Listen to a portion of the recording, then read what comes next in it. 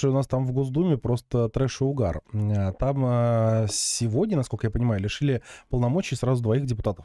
Государственной Думы. Полномочий да. лишили? Да, да, да. А, то есть, а, ЛДПРовца видел я. Одного, да, да, да. Один из них это Сокол Жириновского, депутат Власов. Да, вот этот прекрасный, замечательный человек.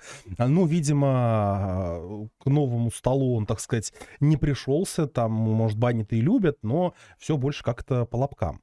А, вот, а, сообщается, что пропустил более 60% заседаний, а, дважды присутствовал на, заседаний, на заседаниях нового созыва.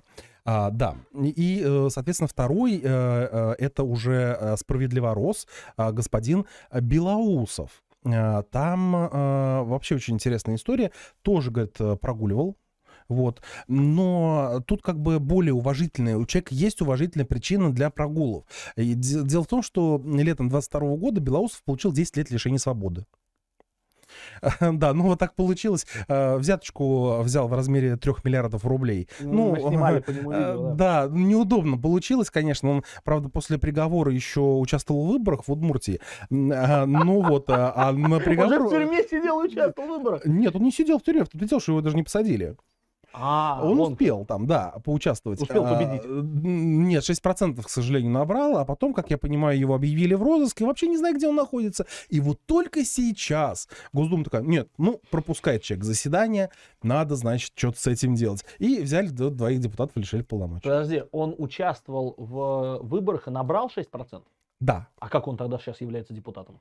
Он является депутатом Государственной Думы. А куда участвовал 6% набрал? А, на выборы главы Удмуртии. А, в Удмуртии. Слушайте, но это увлекательная история, да, очень, очень интересная история. Чу чувак в федеральном розыске не посещает никакие заседания, и только сейчас, два года на минуточку с лишним прошло после э, избрания в Государственную Думу. И вот, собственно, только сейчас этого господина э, соизволили лишить мандата. Э, удивительно, что сейчас это сделали. Кто же, кто же с ним э, подобное сделал? Если 3 миллиарда рублей, это только по одному доказанному эпизоду, за который его разыскивают, не говоря уже о альтернативных, э, скорее всего, такие случаи тоже имели место быть, да, ну, вряд ли это вот первый его, э, как говорится, э, подход, попытка, да, и сразу 3 миллиарда, скорее всего, была какая-то эволюция, которая его привела к таким достижениям высоким. Это самая крупная взятка за всю историю современной Российской Федерации, да, и неудивительно, что Государственная Дума два с лишним года еще думала, лишать его этих полномочий нет. А вот предыдущего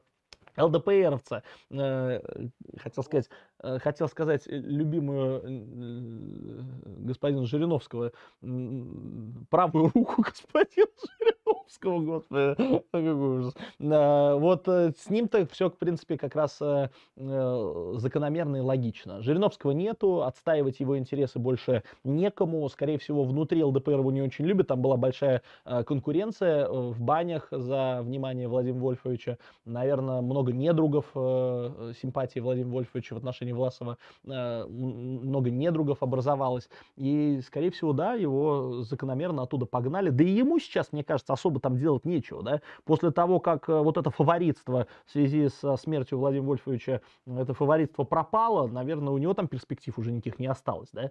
Э, поэтому вот, собственно, за прогулы исключили. Для меня, конечно, удивительно такая форма, да, что такое, в принципе, может быть. Но, учитывая учитывая, что внутри вот этой, в том числе, да, ЛДПРовской тусовки, там сейчас большие перетрубации, да, Слуцкий, э, который пытается всеми дыхательными, пихательными движениями э, доказать нужность, важность, да, для системы, что вот он может, значит, э, на месте Жириновского и пользу приносить и так далее. Наверное, да, в том числе какие-то идут перетрубации, чистки, вот Власовые погнали. Но интересен другой вопрос, да, заметят ли такие изменения граждане России? Да нет, конечно. Что был Власов в этой думе, что не в этой думе. Как поддерживал эту власть, так и, э, собственно, выполнял эту функцию. Ну, сейчас вот одним меньше, да. Что он, вы хоть раз слышали его выступление за сколько он там, второй созыв, третий созыв э, в Государственной Думе. И, я, честно говоря, ни разу не слышал. И, наверное, нужно признать, что вряд ли он и выступал там. А если выступал в комплементарных и э, каких-то там, значит, вежливых формах, да, лишь поддерживая эту систему Ну вот видите, да, пауки в банке под ковром пытаются друг друга кусать. Э, в целом политика как продолжалась, так и будет продолжаться, потому что этот человек, несмотря на то, что типа в оппозиционной партии, уж точно никаким оппозиционером не являлся. Да, да и этот чувак с тремя миллиардами тоже. Слушай, по-моему, я про э, этого взяточника-то вообще там э, ничего, никто о нем не слышал, знать о нем не знал. А вот Власов-то тоже особо не отсвечивал, и как фаворит Жириновского он Нет, не был известен, а ну, а получил он известность, как мне кажется, только благодаря тому, что его помощником некогда был Юрий Хованский, которого приговорили по делу об экстремизме. Нет, ну зря ты. Э, Власов э, чувак достаточно известный, он э, практически на всех фото Владимира Вольфовича, он носил ему портфель это же тоже очень высокий уровень доверия, да, когда ты носишь портфель э, Жириновского. Да. Просто другой вопрос, что это не совсем функция депутата, да, тем более типа оппозиционного депутата, что народ-то ждет от тебя немножко иного. Вот. Но, э, конечно, ты правильно сказал, да, история с Хованским его подсветила, но, к сожалению, не в том э, ключе, который был необходим.